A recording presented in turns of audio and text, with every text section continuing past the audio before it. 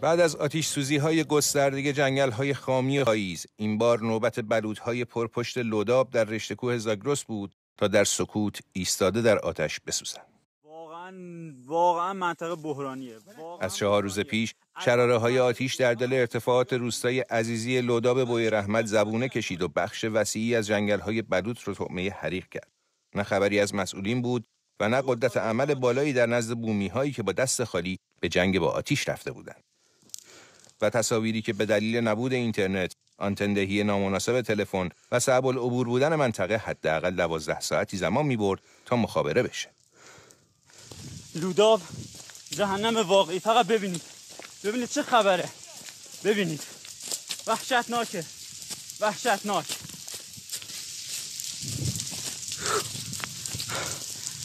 امروز چهار چهار 99 نه نیروی کمکی نه هلیکوپتری نه آپاشی نه آبی نه هلیبرن نیروهای کمک. واقعا نیاز داریم همه جا داره خاکستر میشه. یه جهنم واقعیه. دور تا دور منو ببینید. یه جهنم واقعی. آتشی که حالا بعد از چهار روز به گفته فرماندار شهرستان بوی رحمت مهار شد.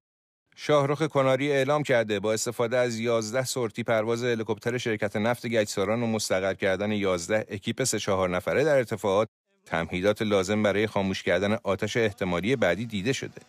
او گفته به جرأت می‌تونه بگه به هیچ درخت سبزی خسارت وارد نشده اما فیلم های منتشر شده از این آتش سوزی حکایت دیگه ای داره. اینجا لوداب چهار چهار 99 جهنم واقعی رو می‌بینید؟ ببینید چه جوری دارن این جنگل های بلوط آتیش می‌گیرن.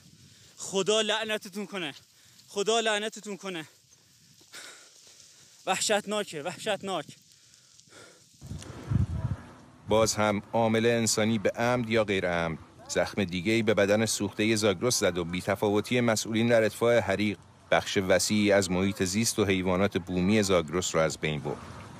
در یک ماه اخیر بیش از 150 هکتار از مراتع و جنگل های بلوط و زالزالک این رشته کوه سوختن و خاکستر شدند و اگه البرز زارعی ها نبودند که برای خاموش کردن آتیش از جون گذشتگی کنند معلوم نیست عمق فاجعه به کجا می.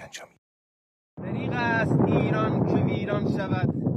کنام پلنگان علی پیرهادی اتاق خبر. نشستنگه شهریار